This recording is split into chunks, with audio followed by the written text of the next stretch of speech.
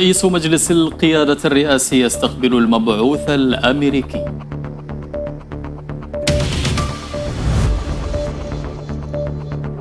رئيس الوزراء يستقبل السفير الإماراتي لدى اليمن.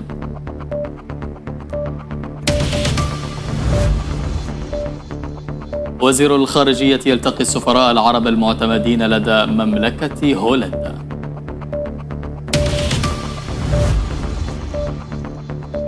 الأمين العام لمحل حضرموت يرعى توقيع عقد توريد أدوية كيماوية وبيولوجية للمركز الوطني لعلاج الأورام.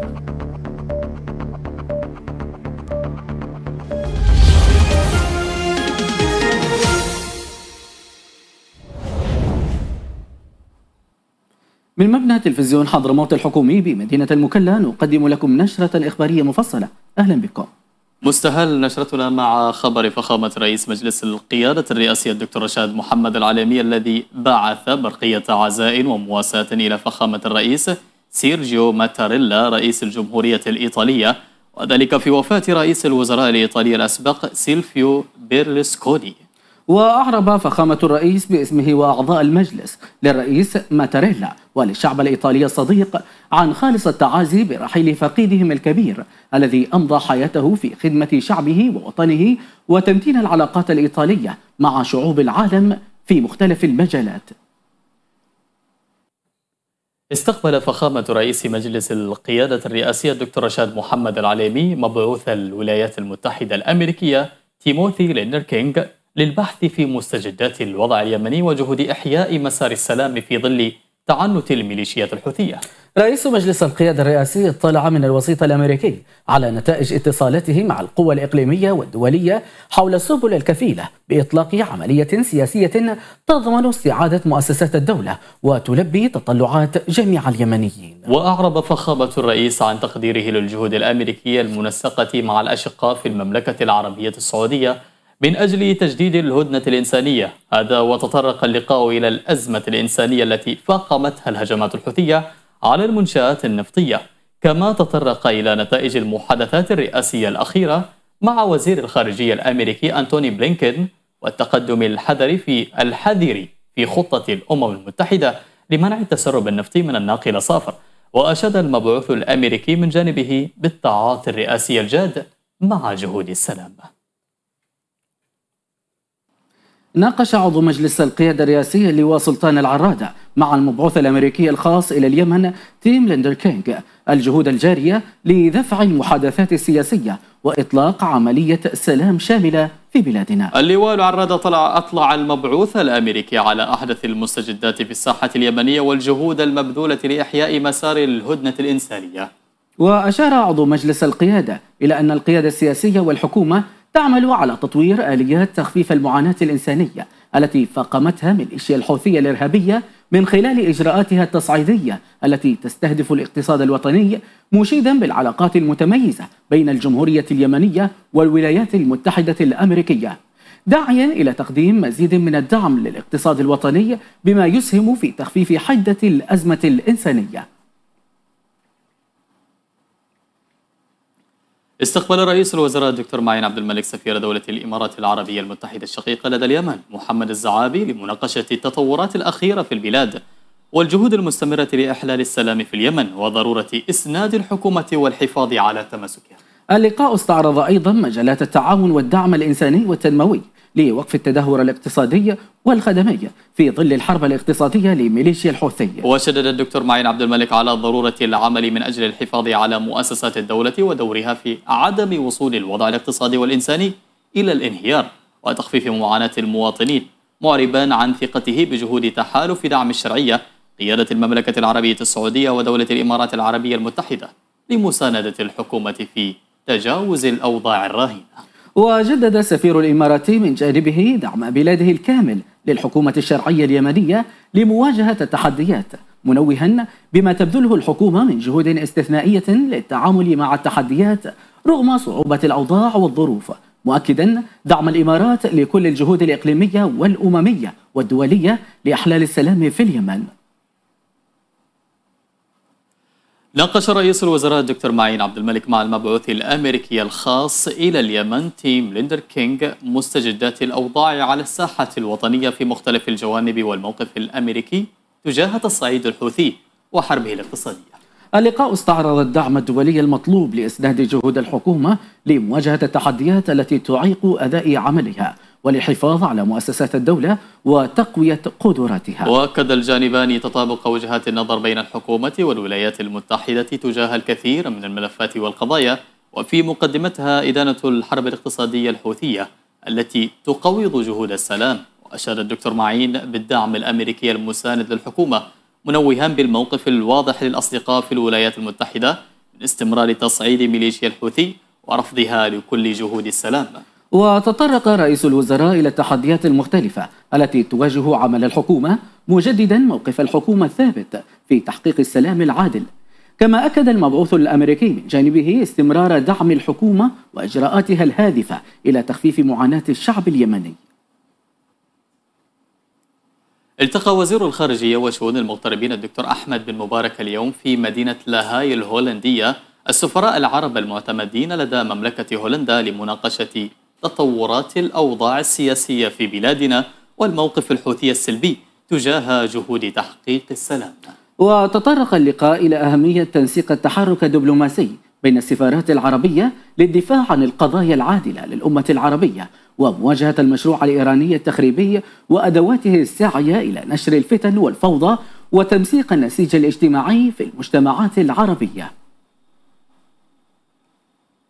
ناقش وزير الإدارة المحلية حسين الأغبري مع محافظ أبين اللواء أبو بكر حسين سالم أوضاع واحتياجات المحافظة تنمويا واقتصاديا والصعوبات التي تواجهها المحافظة. الوزير الأخباري أكد حرص الحكومة على دعم كافة جهود السلطات المحلية في تعزيز الاستقرار وتفعيل أداء المكاتب التنفيذية والعمل على تحسين وتنمية الموارد. وأشاد الوزير الأخباري بالجهود التي تبذلها قيادة المحافظة في النهوض بالعملية التنموية والاقتصادية للمحافظة والعمل على التنسيق والتعاون للنهوض بعملية الإيرادات وتنمية الموارد للمحافظة. كما استعرض محافظ أبين من جانبه مجمل المشاريع والبرامج الجاري تنفيذها في البنى التحتية من طرقات ومشاريع الزراعة والري وكافة الجوانب الخدمية الأساسية. ناقش وزير الإدارة المحلية حسين الأغبري بالعاصمة المؤقتة عدن مع ممثلي مركز الملك سلمان للإغاثة والأعمال الإنسانية والجمعية الكويتية وعدد من ممثلي المنظمات والشركاء المحليين العاملين في المجال الإغاثي والإنساني. الوزير الأخبري حث المنظمات الدولية والمحلية على تقديم العون الطارئ لأرخبيل سقطرة لإنقاذ المتضررين من المنخفض الجوي الذي شهده الأرخبيل الأسبوع الماضي. وأشار وزير الإدارة المحلية إلى أهمية الجهود التي تبذلها قيادات المحافظة لمواجهة الآثار التي خلفتها السيول خلال الفترة الحالية مشددا على أهمية العمل على إعداد التقارير الميدانية لتوثيق كافة الخسائر المادية التي تعرض لها الأرخبيل في البنى التحتية. مؤكدا أهمية تكثيف برامج التوعية والإرشاد وتشكيل لجان طوارئ تحسبا لأي طارئ ناتج عن امتداد المنخفض الجوي والأمطار الغزيرة. رعى الأمين العام للمجلس المحلي بمحافظة حضرموت صالح عبود العنقية اليوم بالمكلا توقيع عقد توريد أدوية كيماوية وبيولوجية للربع الأول من العام الجاري بين المركز الوطني لعلاج الأورام وشركة الفواصل للتجارة العامة وشركة النور للأدوية. بكلفة إجمالية بلغت 228 مليون و363 وستين ألفا ومئتين وخمسين ريال يمني. توقيع العقد يأتي بموجب قرار اللجنة العامة للمناقصات بالمحافظة رقم 15 لعام 2023 والقاضي بتجزئة إرساء المناقصة حيث تكون فترة التوريد للأدوية شهرين بموجب العقد ويأتي ذلك ضمن اهتمام السلطة المحلية بهذه الشريحة من المجتمع الذين يعانون من أمراض الأورام المزمنة. وشدد الأمين العام العمقي على أهمية توريد الأدوية ذات الجودة والمواصفات الفنية العالية مع الالتزام بما جاء في تقرير اللجنة الفنية مشددا على إخضاع كافة الأدوية الموردة للاختبارات والفحص عند استلامها في الميناء. ولا يسمح لها بالخروج إلا بعد التأكد من مطابقتها للمواصفات والشروط المطلوبة.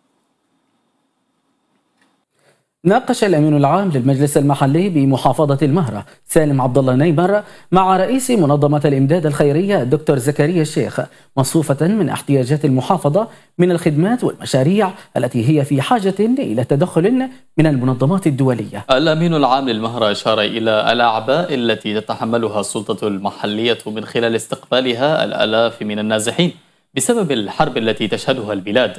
وهو ما شكل ضغطا غير عادي على الخدمات في التعليم والصحة والمياه والكهرباء وغيرها. واستمع الأمين العام نيمر إلى المجالات والمشاريع التي تدعمها الجمعية حيث تم اعتماد مشروع إعادة بناء وتأهيل المركز الصحي بمنطقة الفيدمي كما تم تدشين توزيع ألف سلة غذائية للأسر الفقيرة.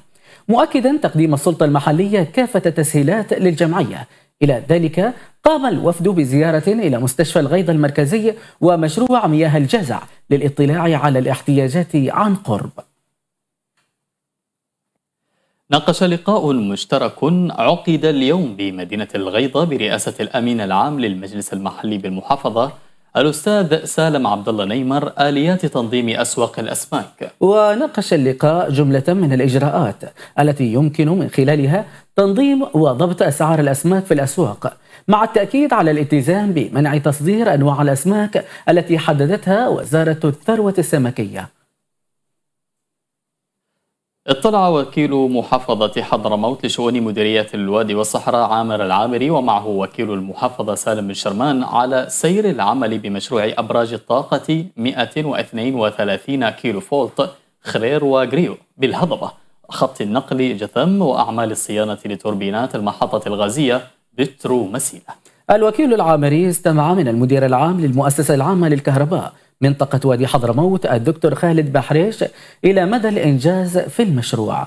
وحث الوكيل العامري على سرعة متابعة مقاولي المشاريع التي ستقلل نسبة الفاقد الفني كما تعرف على أعمال الصيانة الدورية الجارية في القطاع 10 لتوربينات المحطة الغازية بترومسيلة مطلعا على سير التشغيل بوحدة ضخ الغاز للمحطات الغازية ومدى الإمكانية الفنية لزيادة الضخ فيها. اختتم وكيل محافظة حضرموت حسن الجيلاني مساء اليوم بالمكلا. البرنامج التدريبي لتمكين الفتيات بالمهن الحرفية. دورة صيانة الموبايل بمشاركة 20 متدربة الذي تنفذه وتموله منظمة رحمة حول العالم. الوكيل الجيلاني وفي تصريح عقب حفل الختام أكد المكانة التي تحظى بها المرأة في حضرموت وفي الوطن عموما على الرغم من الظروف الصعبة التي يمر بها الوطن. مشيدا بما تحققه المرأة من تقدم في مجالات مختلفة في السنوات الأخيرة مثمنا جهود منظمة رحمة حول العالم للإغاثة والتنمية في اختيار مثل هذه البرامج النوعية. وأعرب كل من العميد عبد الله بايعشوت وأحمد بادروس عن سعادتهما لتنفيذ مثل هذه البرامج التدريبية التي تلبي أحد احتياجات السوق المحلية في توفير أياد عاملة من الفتيات والتي ستعمل على تعزيز خصوصية النساء أثناء صيانة جوالاتهن ويهدف البرنامج التدريبي إلى تمكين الفتيات في المهن الحرفية عبر دورة صيانة الموبايل التي تستهدف أربع محافظات هي. حضرموت وعدن ومأرب وتعز بإجمالي ثمانين متدربة لخلق امرأة قادرة على أن تكون معيلة لنفسها ولأسرتها. أعلنت الوكالة الأمريكية للتنمية الدولية عن تخصيص مبلغ ثلاثة ملايين دولار لبرامج جديدة مع شركاء الأمم المتحدة لدعم قطاع الصحة في اليمن بالشراكة مع منظمة الصحة العالمية وصندوق الأمم المتحدة للطفولة. الوكالة ذكرت في بيان لها أنها بالشراكة مع الصحة العالمية واليونيسف ستساعد اليمن على الانتقال من الاستجابة لحالات الطوارئ إلى مرحلة أكثر استدامة وطويلة الأمد. لإدراج لقاحات كوفيد 19 وتعزيز النظام الصحي. وأوضحت مديرة الوكالة الأمريكية للتنمية في اليمن كيمبرلي بيل أن الهدف من هذا الدعم هو تحسين الأنظمة الصحية المحلية مشيرة إلى أهمية البرنامج الذي أطلق أو انطلق لتحسين الخدمات الصحية المنقذة لحياة اليمنيين. ويشمل البرنامج تخصيص منظمة الصحة العالمية مبلغ مليون وتسعمائة ألف دولار تقريبا لقطع الغيار والإصلاحات والصيانة لثمان محطات أكسجين في المرافق الصحية. ختام النشرة نذكر بأبرز ما جاء فيها. رئيس مجلس القيادة الرئاسية يستقبل المبعوث الأمريكي.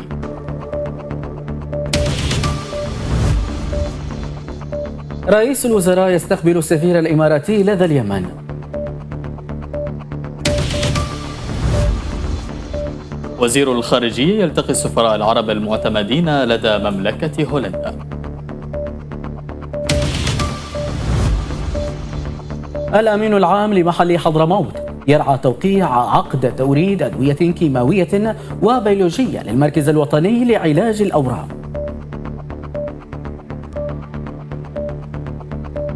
لمتابعة المزيد من نشراتنا الإخبارية يرجى زيارة حساباتنا على مواقع التواصل الاجتماعي تلفزيون حضرموت. وفي الختام دمتم في أمان الله.